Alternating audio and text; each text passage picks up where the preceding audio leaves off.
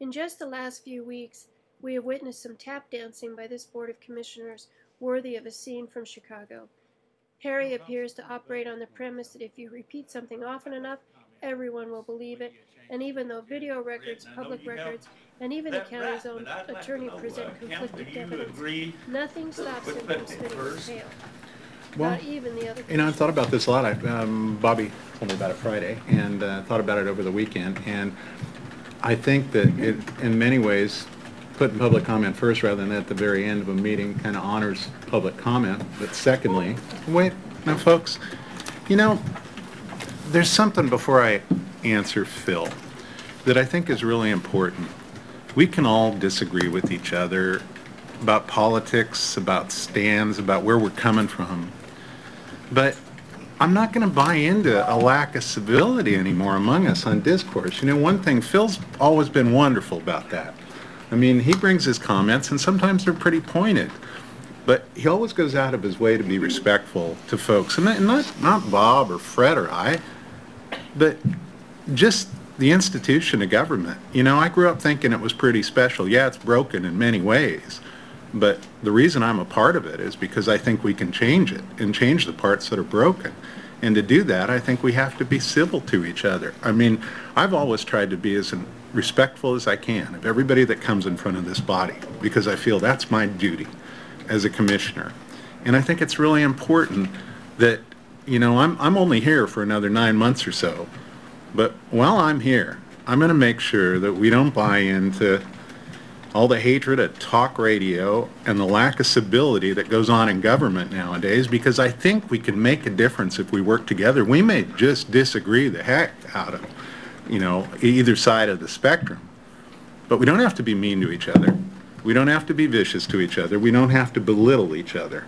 Parry made a lot of noise at the recent BOC meeting about civility and respect.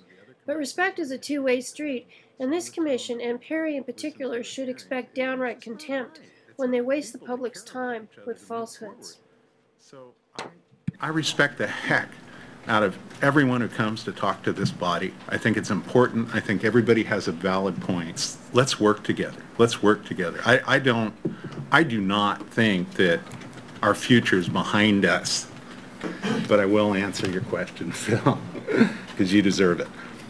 I think number one, it's important to honor public comment, regardless of where it is on the agenda. The one thing that I wanted to talk about a little bit, and then perhaps Commissioner Messerle can explain that to me and to Bob and to the public, is it's my understanding with this new format where we put public comments first, that if any one of us as commissioners brings up an issue that people aren't familiar with, or we add a agenda item, or it changes the landscape, public, it's open for the public to comment. Is that, is that correct? Any two of us can agree to take extra comment, absolutely. Yeah. Does my th- three minutes start now? Sure, Don't ask any questions. go ahead. Okay, uh, what I, what I would like to say is, that I think regardless of what you say, you know, uh, excuses are sort of like butts, everybody's got one of them. And uh, I don't think for a minute that, uh, I hate to say what I'm gonna say, I don't believe what Fred said is true while we uh, put the comments first. I think it's to su- suppress suppress the speech and the topic because we, this is a little bit different than the port or anywhere. You're dealing with the people. We should have, be able to comment on any of this stuff you guys are proving without having two votes. When you got two votes, it's just like you've been doing anyway. You, you, uh, everybody in here will be against what you want to say, but it means nothing. And this is the same thing Adolf Hitler them done back in the thirties, you know. Uh, they suppressed the speech and, uh, and the topic of the speech and everything else, and where, where did we end up? Saying a tax-paying resident of North Bend, uh, my personal belief is that this is an opportunity to sus- suppress free speech uh, by making this switch. Uh, Cam, you just spoke about, uh, about the uh, uh, carbon credit process that, uh, that you just, or that uh, didn't really pan out. And, uh, and so we looked the other way because you were looking out for the best interests of the people, the ci- the citizens of Coos County. So, uh, where was that when, uh, when we talked about, and this has been something that I've been dealing with since uh, early 2009, where was that interest when we talked about uh, the numbers that have dropped off since 2009 with uh, Waste Connections bringing garbage to Coos County Solid Waste? Those numbers, if you, uh, if you bring them down to just the last numbers that were, just the last fiscal year, amount to nearly $700,000, and I believe those numbers are going to be even lower this year. So we've lost, the citizens of Coos County have lost nearly a million dollars, and possibly more than a million dollars from uh, Waste Connections. And uh, then the last, uh, at the last meeting, I believe you said uh, uh, that that was it. We're done with them. We're going to send them a letter of compliance. What you did was send them a letter of admission that uh, you recognize that the, uh, that they have been uh, uh, under, undersupplying by in excess. You folks released a press release just right after you had stated that, that, that you had all agreed to send them a letter of compliance. And again, it's an admission that they aren't feeding us the, the, the numbers, but I, d- I don't mean to interrupt they're, you, they're Randy. past, they're, you know, this was citizen comments. Well, I, I thought that's kind of good, because we can kind of have a free flow. I, I'm not going to restrict you at all, Randy. I, I'm not in any way. All right, well then let me finish this one point. You have, uh, uh, again, you stated that, that this was going to be a, a letter of compliance, and then you turned around and awarded them the contract because, uh, they weren't punished, they were rewarded. I'm ready. Okay. Um, What I said, and I actually uh, uh, went back uh, with Bobby and reviewed everything I said word for word. And, and what I said was that we were going to formally address in writing the concerns that the county had about the numbers. We had had verbal discussions, and it was time to basically give notice that we were going to formally address those issues in writing, which is what we did. And that's one of the reasons why we released the letter. Whether the county was ever made responsible for tracking compliance with its provisions. Why aren't you looking into this? This is a revenue issue. They are being put on notice as soon as this board meeting adjourns. County counsel is addressing a letter to them that's going to specifically state exactly what you're talking about, just so you folks know. Position now where we're, uh, we're calling the curtain on this one, so. There's a, there is a, there is a supreme. Parry has been caught trying to turn yard debris into salad before. Now that his past statements are catching up to him, he turns again to offense and again employs a technique of making unwitting accomplices out of innocent bystanders. On Tuesday, he included engineers, lawyers, accountants, and county employees from solid waste to the Treasury Department, none of which were present to correct his assertions. Parry even tore into Randy Sanne, who has been attending BOC meetings long before anyone knew who Parry was, accusing him of campaigning against him, Parry, because of comments I have made regarding his incompetence and mismanagement, which he wrongly attributed to Sanne. Counsel, outside counsel, engineers, people that are involved in this directly, because I am not an engineering expert by any sense of the word. And I'm also not a legal expert. So I take the time to talk to all of these people, including our treasurer, so we can figure out what funds are involved, how general funds played into this. So if I am making uninformed or deliberately intentioned wrongful decisions, that means that everybody I talk to is also doing the same thing, and that is not the case. We have people who truly care about the citizens of Coos County and the viability of this facility for the future, and that's how I base my decisions.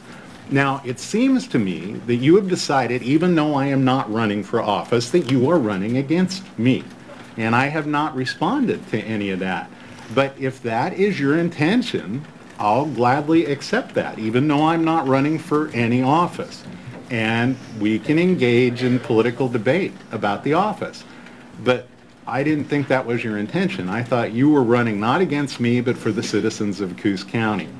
But everything I've done as far as decision-making, and trust me, from the day you brought me those figures, I've taken a hard look at them. And a big part, there was a little conversation we had about civility, and commenting about the lack of civility. Okay, let's move forward. Keep, if you want to. honest, Jay, I, I think it's wonderful you're here, Jay, but Proceed. So all I was saying, Randy, is that all the decisions that I've made, once again, I've been really clear about I am not, I want to try and always find the best route and the best solution for people. That doesn't mean walking in with a sledgehammer most of the time. It means identifying the problem, seeing if there is a way to correct the problem, and moving forward. And that's what I've tried to do. When the waste numbers were brought to me, and yes, you're the one who brought them, and you did some fine work on putting those numbers together. There's a lot of things that came into play in addressing those numbers. What's our legal standing? What's our potential to correct it? What's our potential to mitigate the impact? Those are all things that we've been working on.